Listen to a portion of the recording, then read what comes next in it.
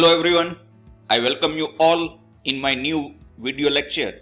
In this video lecture, we will study about voltage tolerance criteria. Now what exactly we mean by voltage tolerance criteria? The Information Technology Industry Council and that is known as ITIC has published a graph that provides guidelines as to the voltage tolerance limits within which information technology equipment should function satisfactorily. Now let us see what exactly the graph indicates and the graph is divided in three regions. The area within the graph is the voltage tolerance envelope in which equipment should operate satisfactorily.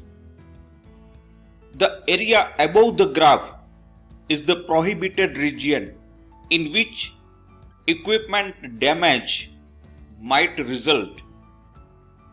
The area below the graph is the region where the equipment might not function satisfactorily but no damage to the equipment should result.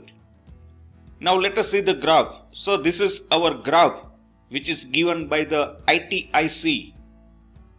X-axis we have taken seconds as well as number of cycles. On the y-axis we have taken percentage of nominal voltage. So here we can see that uh, area above the graph and that is known as a prohibited region. So this is our uh, prohibited region. If we go beyond this area above the graph, then equipment is subject to damage. This is our no damage area. Area below the graph.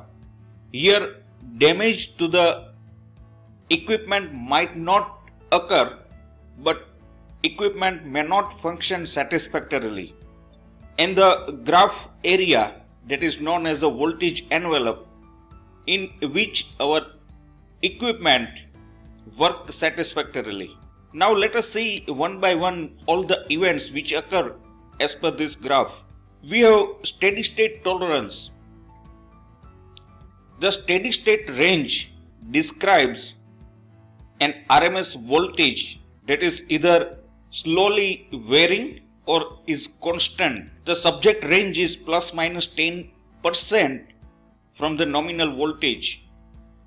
Any voltage in this range may be present for an indefinite period and is a function of the normal uh, loading and losses in the distribution system. So plus minus 10% that is our normal limit of tolerance and then it will be a steady state tolerance. Now let us see the graph again. So plus minus 10%. So here we have 100%. So 90% and 110% above and below the nominal voltage 10% plus as well as 10% minus and that is known as a no interruption in the function region or we can say it is a steady state limit and for the indefinite period of time any equipment can function as it is uh, designed. Then line voltage swell. This region describes a voltage swell having an RMS amplitude up to 120% of the nominal voltage with a duration of up to 0.5 second. This transient may occur when large loads are removed from the system, we are talking about line voltage swell. So this transient may occur when large loads are removed from the system or when the voltage is applied from the sources other than utility. Now again let us see voltage swell. So 120%. So this line indicates 120% voltage swell for 0.5 second. So this voltage swell. Same way we have voltage sags. Sags to 80% of the nominal are assumed to have a typical duration of up to 10 second. Sags to 70% of nominals are assumed to have a duration of up to 0.5 second. The transient result from application of heavy loads as well as fault condition at various point in the AC power distribution system. Now let us see voltage sag. So here we can see it is a 80% line for 10 second. This is our 70% uh, voltage sag for 0.5 second. So this is a voltage sag for two level 80% of the nominal or 70% of the nominal and then dropout. Voltage dropout includes both severe RMS voltage sags and complete interruption of the applied voltage followed by immediate reapplication of the nominal voltage. The interruption may last up to 20 milliseconds. The transient typically results from the occurrence and subsequent clearing of the fault in the distribution system. Now let us see the dropout. Here we can see the dropout, a voltage, total loss of the voltage or severe voltage sag and that result in the dropout. The next is a low frequency decaying ring wave. This region describes a decaying ring wave transient that typically results from the connection of power factor correction capacitors to an AC power distribution system.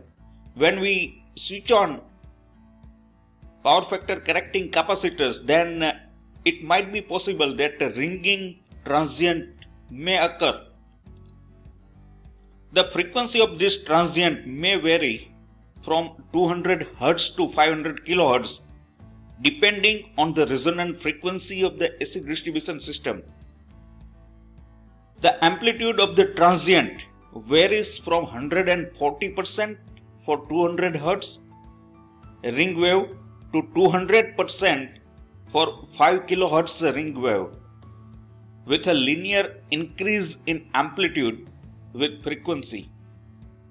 So 140% to 200% and that is uh, our low frequency decaying ring wave this transient or impulse that is because of low frequency decaying ring wave. 140% to 200% of the nominal. Same way we have high frequency impulse ring wave this region describes the transient that typically occur as the result of lightning strikes.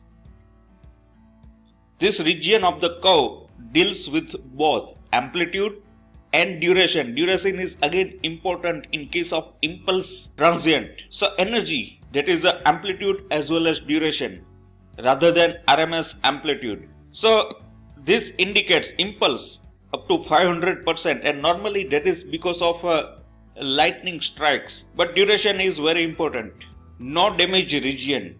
Events in this region includes sags and dropouts that are more severe and continuously applied voltages that are less than the lower limit of the steady state tolerance limit. 10% plus and minus that is our steady state uh, limit voltage tolerance limit but below this it is known as a no damage region. A normal functional state of information technology equipment is not expected during this condition but no damage to the equipment should result. This is no damage region. Same way we have prohibited region. This region includes any surge or swell which exceeds the upper limit of the envelope. Beyond above the graph, it is known as a prohibited region. If information technology equipment is subjected to such condition, damage might result. So this way, we have seen voltage tolerance criteria, various event and a graph above the voltage envelope that is prohibited, below the envelope and that is known as no damage region. So thank you for watching my video. Keep watching. Thank you very much.